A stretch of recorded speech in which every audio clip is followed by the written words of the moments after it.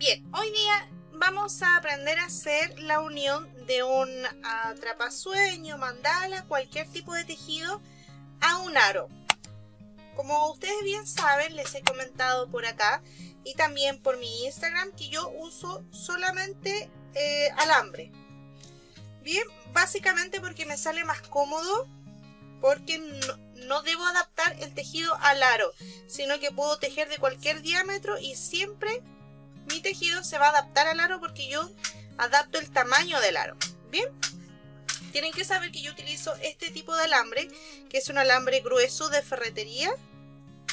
Eh, acá, bueno, en Chile lo pueden conseguir en Home Center, vienen en rollos así. Este lo compré cerca de 6 mil pesos aproximadamente, pero viene un rollo muy gordo y te va a servir infinitas veces. Yo tengo mucho alambre todavía y vienen así, en rollitos, entonces la forma que hay que darle circular, hay que simplemente ir abriendo este, esta figura y se va armando solo el círculo que tenemos que hacer.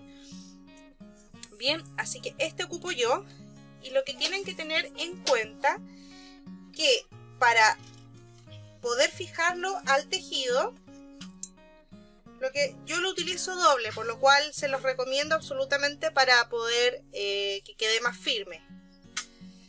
Bien, siempre tenemos que saber que al unir eh, un tejido a un aro, ya sea de este mismo, de, madera, tiene que ser más pequeña que la circunferencia del aro. Entonces yo ya corté, que siempre corto un poquito más para ir jugando con los tamaños y siempre voy a fijar una parte del aro. Bien, yo creo que les voy a dar ahí para que tengan una idea de distancia y separación vamos a dejar 2 centímetros, tratando que sea equitativo en cada espacio. Ya teniendo distinguido el, ancho, el tamaño que vamos a hacer el aro, vamos a fijarlo. Yo utilizo, antes lo, lo utilizaba con, con scotch o con cinta adhesiva, con masking tape, pero descubrí la pistola de silicona.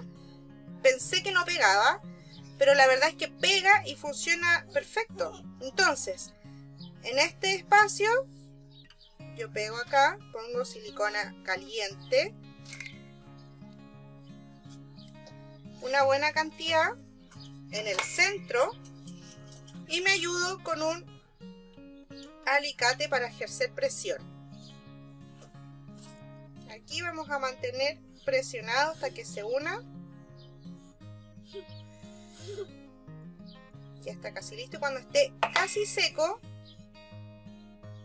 yo paso con los dedos para pulir que no me quede muy gordo esta unión. Porque recordemos que acá vamos a poner después tejido.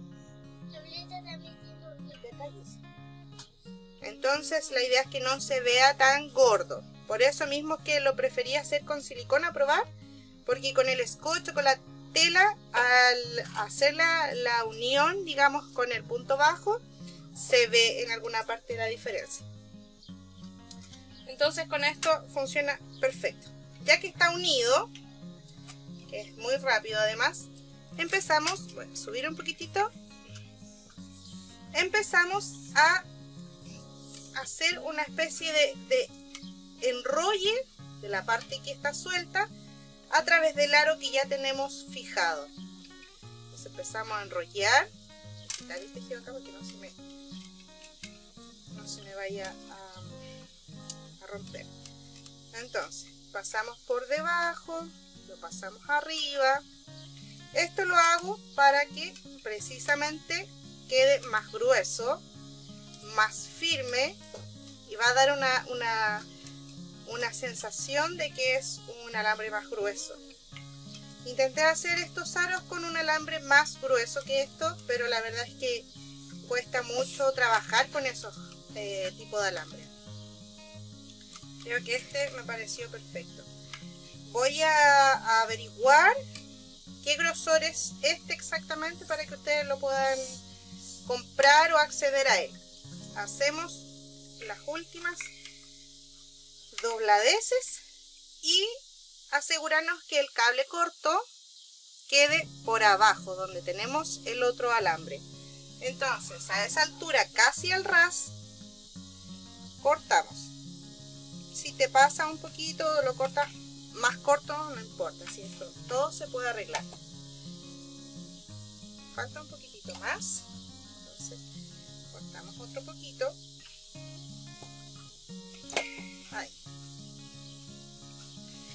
acá vamos a hacer lo mismo que acá. Vamos a dejar un poquito abierto. En esta abertura vamos a poner silicona caliente. Y con un alicate esta parte nos cuesta un poquito más porque como está doblado o sea hay que apretarlo. Y se va a fijar. Ya está fijo aquí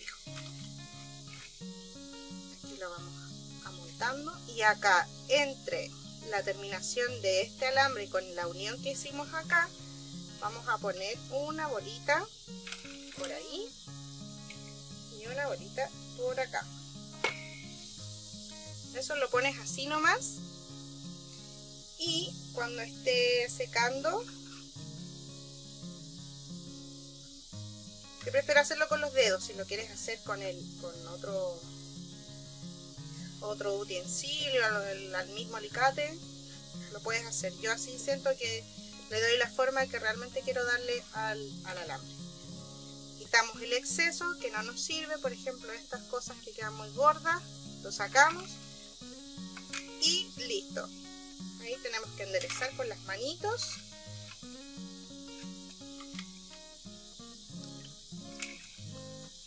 Y ya tenemos el aro. Este aro nos dio un diámetro casi bueno 28 centímetros y un poquito más. Es bien grande.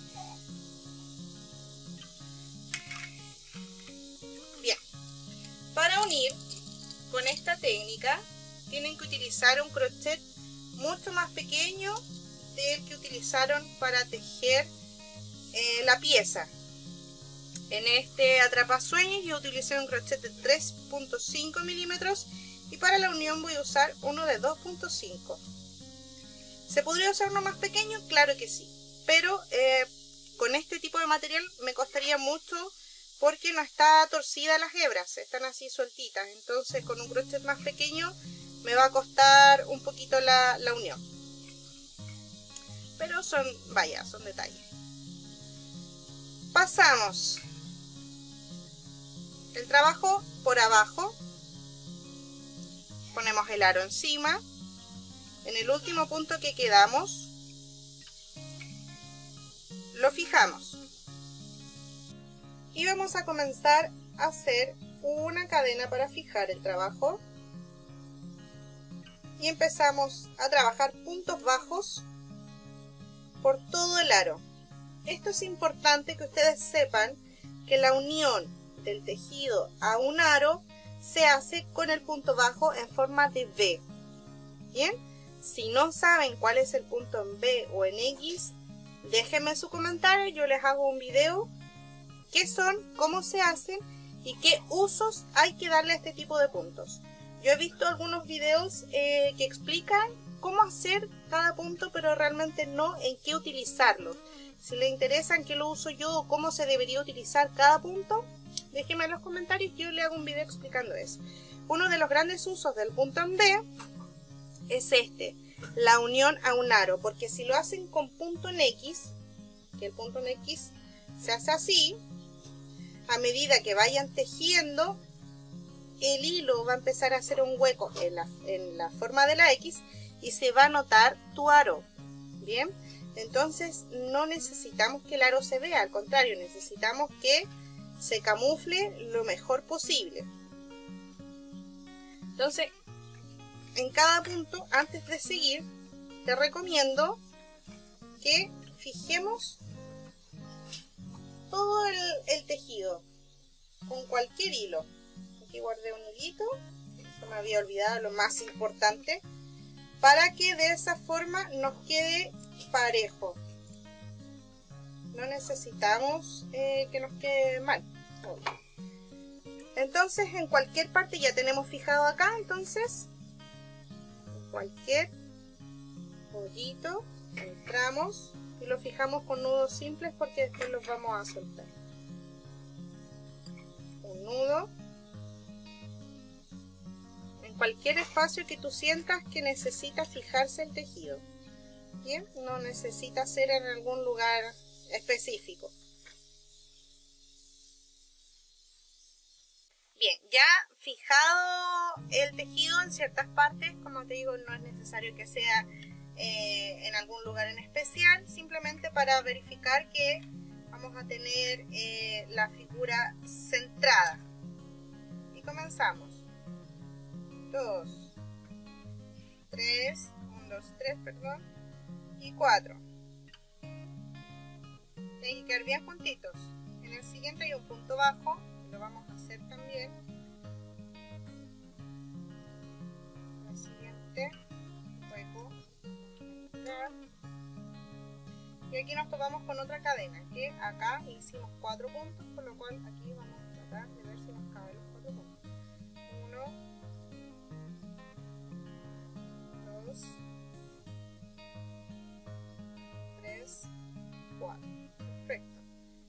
a ser la secuencia que vamos a necesitar, por lo menos en este, en este modelo, para unirlo.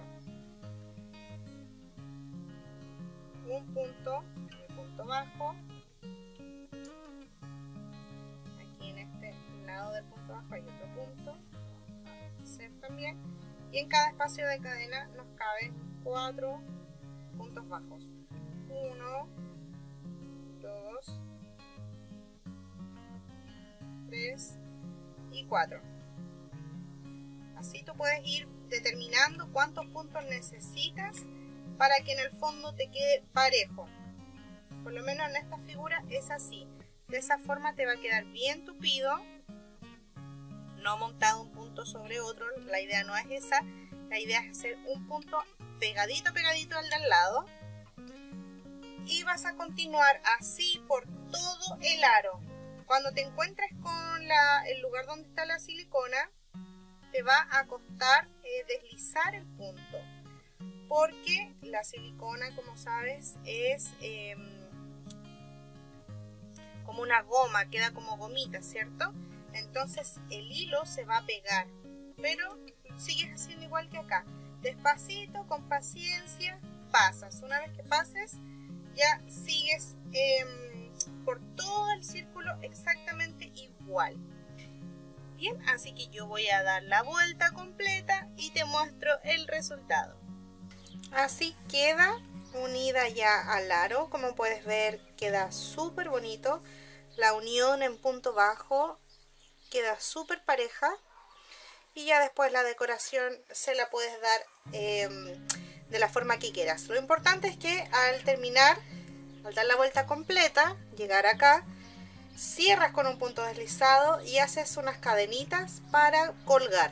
Yo en este caso hice cuatro puntos cadenas y en el mismo punto cerré con un punto deslizado. Y ya tienes tu atrapasueño unido al aro. Ves que es una forma muy sencilla de realizarlo, queda realmente bonito. Puedes adaptar cualquier eh, tejido que tú tengas al aro porque el diámetro del aro lo vas a manejar tú. Esto es lo positivo de hacer el aro. Así es que espero que te haya gustado, que te sea útil. Comparte este video en tus redes sociales, suscríbete al canal si no lo has hecho y nos vemos en un siguiente video. Que esté muy bien. Adiós.